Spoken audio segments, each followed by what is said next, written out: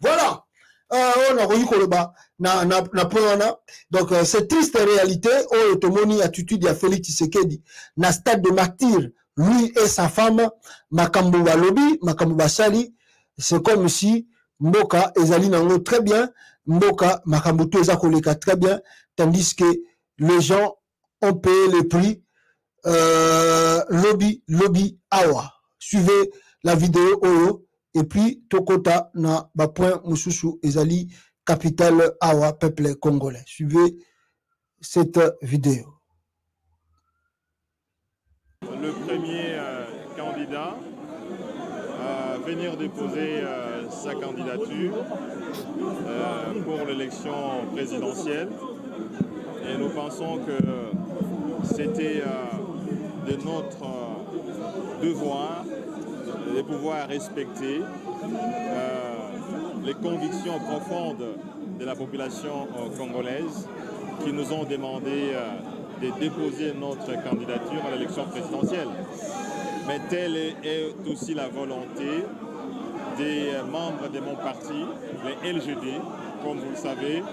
c'est une décision du Congrès, un congrès du parti LGD, pour pouvoir Voilà, Matata Pono a déposé sa candidature na élection oyo esengeli esalama na Congo. Si tout va très bien, décembre 2023. Euh, Martin Fayou de son côté aza kobunda nanu toyebi te lokola basango basengaki ye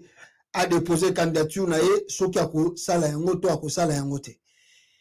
e de l'autre côté moïse katumbi ye azocontinue campagne na ye bon tolobaka après campagne électorale parce que awuti kozala lobilobi awa katumbi ete euh, awuti kozala na équateur alobi ke aza ko rediminize rediminize plutôt parti politique na ye ya ensemble voilà le pourquoi il était à l'équateur pour en tout cas parler avec la population congolaise de, de ce côté esi bato mosala esi tokoimporte biloko ya kolia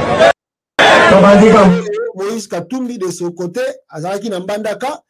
aza kosadresse na population ye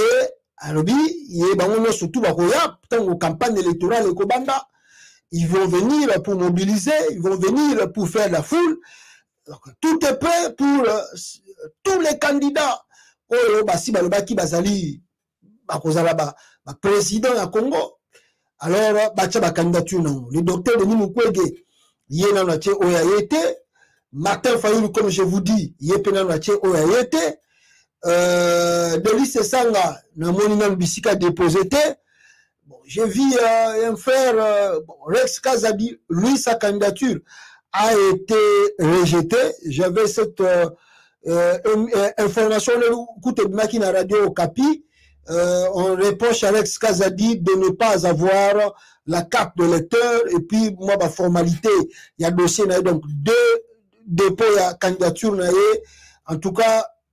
ce que j'ai appris euh, peuple congolais et namonaki yango na radio okapi que la candidature de rex kazadi a été rejetée alors je ne sais pas ce qui est confirmé ou bien pas bon bato batye bacandidature na ye bon moi je ne sais pas moto na moto aza kotante donc mais tokende mozindo sikoyo soki totali déjà bato ndenge baza kosala makambo on peut dire que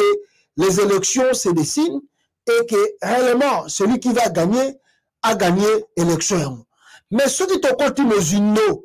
ya kotala attitude oyo eza na kati ya congo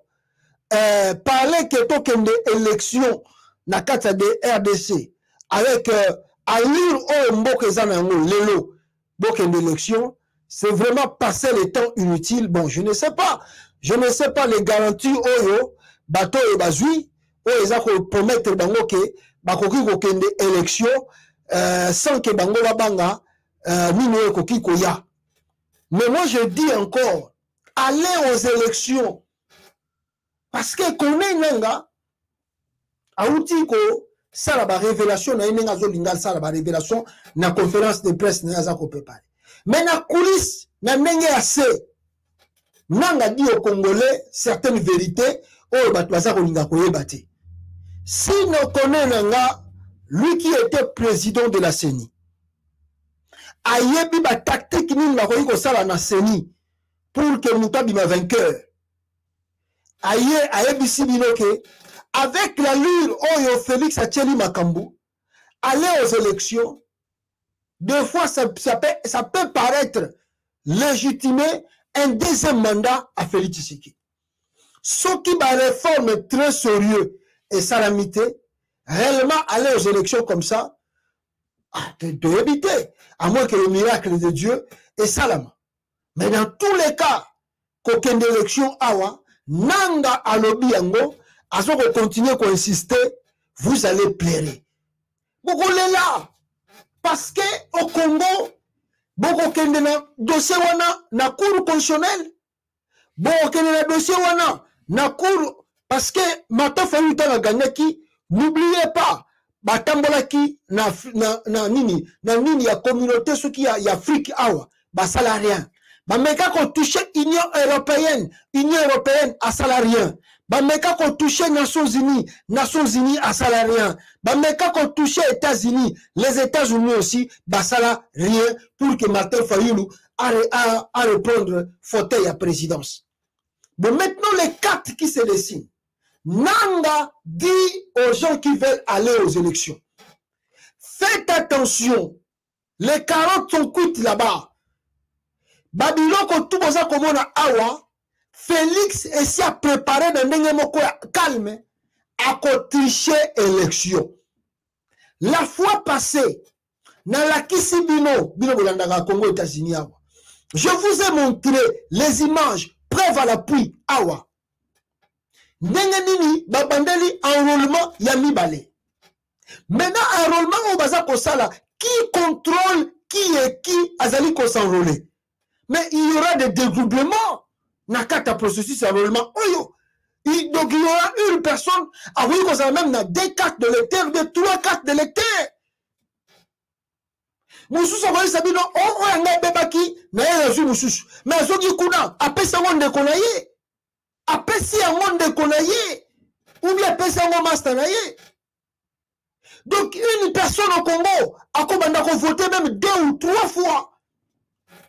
lelo aye na karte oyo ake na biro mosusu ake na karte oyo ake na biro mosusu aseregistre na plusieurs biro ake kosala bavote na ye tozo koloba ndenge tozo loba te il vous avez demandé les exigences bosali na bamarche bato mosusu bazoki bato mosusu bakoti prison mpo na bamarche afin qu'il y ait des réformes avant d'aller aux élections mais ça nous reste trois mois sans réforme félix asali sérieux Mais les Congolais se précipitent encore d'aller déposer leur candidature, soi-disant qu'ils sont trop sûrs qu'ils vont remporter l'élection présidentielle. Alors non, laissons le temps au temps, voir ce qui va se passer. Parce que Nangaza que Kadima, c'était membre de l'UDPS. Bino bien. cour constitutionnelle détenu par un ami de félix tshisekedi bino tu boyebi yango ministère ya justice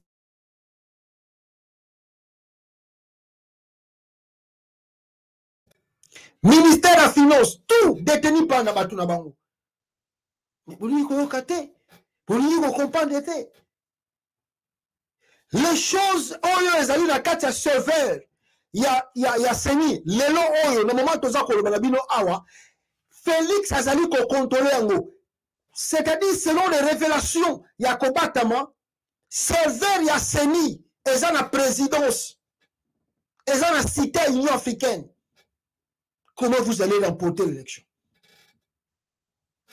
on attend voir les jours à venir baoyo baza kokende bonne chance à eux mais ah, ngai eh, tokomituna na baquestion awa soki réellement élection wana eh, bato baza trop sur na yango ndenge nini ekoleka na kati ya rdc peuple congolais euh, biso tout tokomona euh, les choses mais malheureusement ntango ekoleka mabe ils seront encore les premiers à venir demander aux Congolais bobima na balabala bacongolais lelo bazoyebisa bino ke faites attention bokende kokende na biloko wana te mais bazoyoka te ntango ekoyinda ils vont venir encore demander aux Congolais oh non boya boya boya tosala marche mpo tobengana Félix marche ekobima yala deux jours trois jours la marche est finie l'histoire continue yango tovivaka te banda basalaki marche oyo bakangeli basalomo awa marche nini su esalami na kati ya kini rien banda basali marche oyo bakangeli basalomo qu'est-ce qui a bougé encore rien maintenant ils veulent aller aux élections après soki félix atriche ale babengi bacongolais bobima o oh, félix atriche tobima deux jours marche trois jours marche histoire yango mpe esili nango félix atikali no sur président ah oyo eza complicité te botala témoignage carte de tv5 Emma vient retirer 50 euros que lui a envoyé un ami depuis l'Europe. 50 euros dont il a besoin pour payer les soins d'un proche malade. Il présente au guichet sa carte d'électeur qui fait désormais office de carte d'identité dans toute la RDC. Sur cette carte, il n'y a pas de photo, il n'y a pas de nom non plus. Mais c'est ma carte, c'est bien ma carte. Rien ne prouve qu'ici il y avait écrit ton nom. C'est la carte d'électeur que j'ai. Non, non. Cette carte d'électeur lui a été délivrée en début d'année et déjà sa photo, certaines informations de base le concernant ont disparu. L'encre n'a pas tenu. Petit Prince Lema, comme la plupart des Congolais, n'a pas de passeport, trop cher. Il n'a donc aucune pièce d'identité valable. Il est coincé et rentre chez lui, bredouille. C'est la déception totale parce que c'est sur moi que reposait l'espoir de ma famille pour aider notre proche malade. Ici, on me dit que ma carte d'électeur n'est pas de bonne qualité. Et pourtant, c'est l'original, c'est pas un duplicata. Même moi, je me pose la question, est-ce que c'est bien ma carte, à moi ou pas bozomona carte d'électeur na congo bokende na élection wana totala bino tozela nana koganye élection wana réellement soki eza accompagnement te oyo tozo vivre eza kolinga esalama na 2023 na bato baza kose prétendre kozala kao bacandidat na élection présidentielle na mboka oyo bovandi mwa moke boye botala basali arret peter kazadi are soki ya bis soki ya nani batie deja peter kazadi are yango wana ah! nayebi te botalaka tokende kaka bon tokota mozindo ya badossier eza sori avant nakota dossier ya nazolo dossier ya vital kamere bongo nakozongela bino papa pesa mama bizu ya feli tisekedi vitalo vital kamere alias lwaka kingiize kamere azalaki na bukavu Na Bukavu kuna, comme je vous ai dit la fois passée, la population ne veut plus sentir Vital Kamere. Baboyi koyoka Vital Kamere. Balingi su komona Vital Kamere était devant eux. Vital Kamere a été chassé par euh, la population oyo balingi ye susu te bamoni ke kamere c'est un traitre aza na ye wana euh, mutu moko aye mpo akosa bango aye kokosa bango peuple congolais alors la colère de la population congolaise ya bukavu surtout balandi vital kamere je vous ai montré les images la fois passée na mabanga bato bazozwa yango lokola blague vital kamere azalaki na meeting na bukavu et encore je vous montre encore l'image l'accueil de vital kamere na bukavu kuna ndenge ezalaki peuple congolais ya kosakana te regardez l'image comment est ce que la population bazolobisa kamere bongo bongo bongo vous muzi soki muzi vous ce moyibi moyibi regardez l'image de Vital Kamere awa alors euh, je crois que peuple congolais nayebi te soki boza koyoka biso très bien est ce que bozoyoka biso très bien voilà jesus christ